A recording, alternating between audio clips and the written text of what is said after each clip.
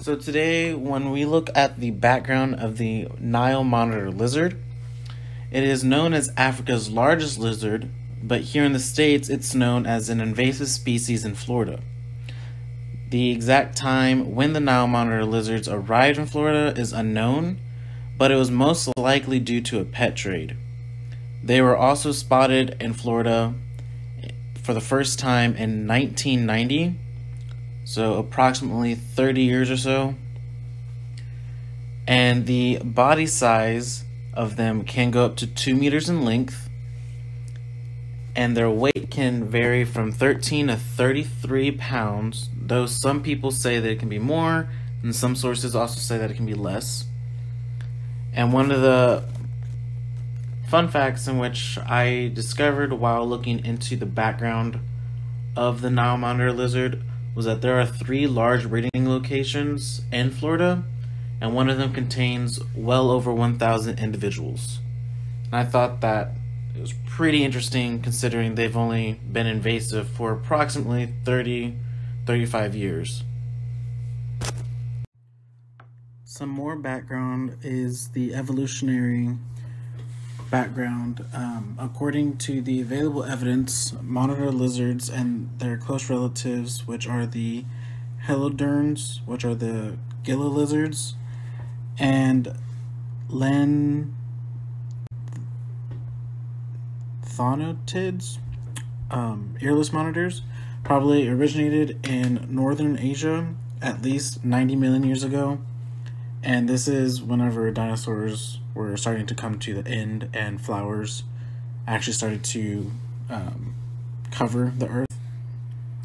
Um, also, today there is at least 46 species of monitor lizards that are known to exist. Um, these are only in Africa, Asia, and um, Aus- Australia, Asia, Australasia. Um, monitor lizards, also their taxonomy is um, lively, but it is controversial. And this is because the um, external morphological characteristics um, can and easily be misleading because they greatly vary in color, pattern, um, scalation, shape, and size, um, even amongst the groups of siblings, which I thought was fairly fascinating. That even looking at, you know, two the same like family, that they don't really look exactly the same. But yeah. The Nile monitor lizard breeds once annually. The breeding season typically begins in June and ends in October. Females will often go into heat in the middle of the dry season.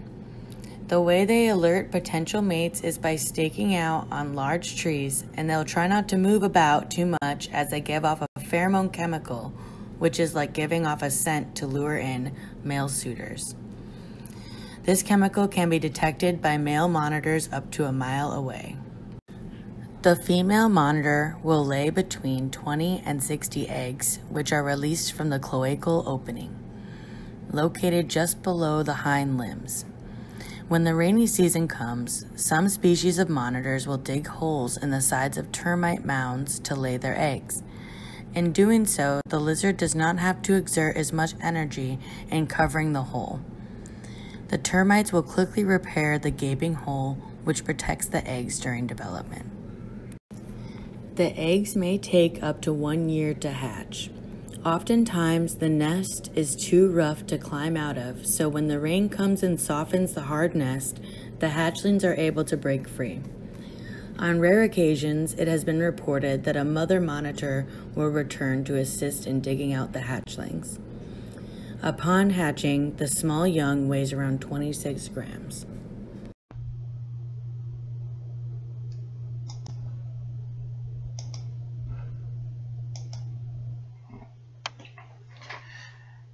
Hi everybody, my name is Makura Ame and I'll be going over the structure and functions of the Nile monitor lizard. Now, before I begin, I like to say that, like to say that you don't want this reptile in your backyard for a good reason. they're extremely dangerous and they're known for their very nasty temperament. And the lizard's whole body has a variety of weapons for different functions. Its first weapon is its muscular body. Nile monitors are made out of muscle and they're extremely strong.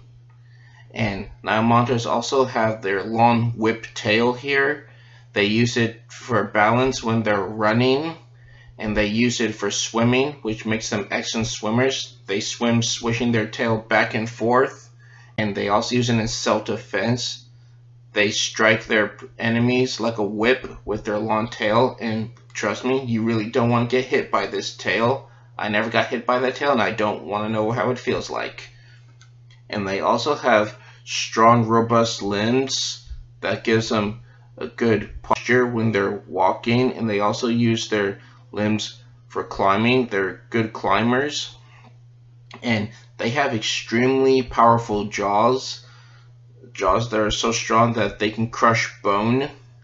And yes, if you get you don't want to get bit by one of these because they could take your, fin your finger off.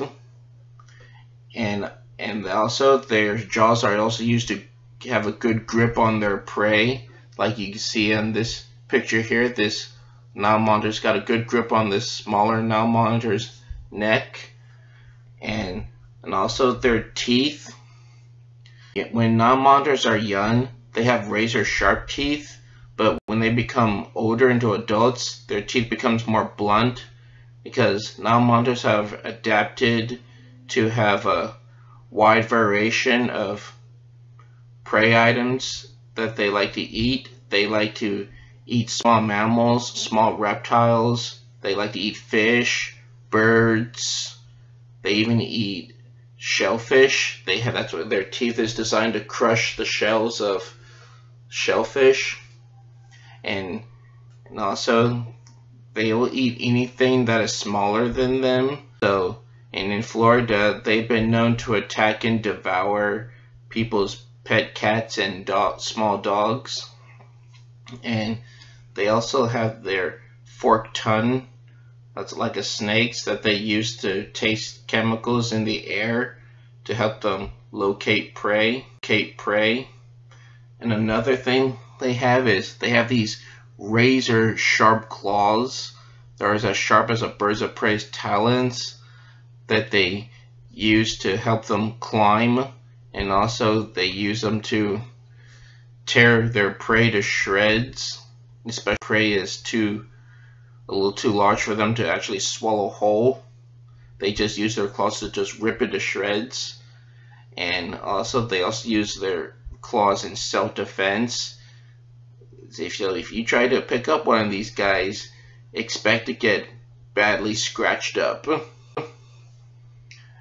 And also, um, Nile monitors, like other monitor lizards, they also possess some venom glands, which means, but um, the good news is that they're not as functionally formed like in other venomous snakes, like the rattlesnakes, but still, um, in their saliva, they have so much bacteria in their mouth because of all the dead carrion that they eat. Carrion is um, dead, pretty much dead animals.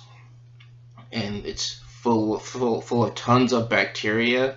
And if you if you get bit by one of these lizards and if you don't treat it that you could you could die. Okay so so uh, if you ever think about getting a, a reptilian pet well make sure make sure that it's not on Nile monitor or any other kind of monitor unless you totally have experience with these guys.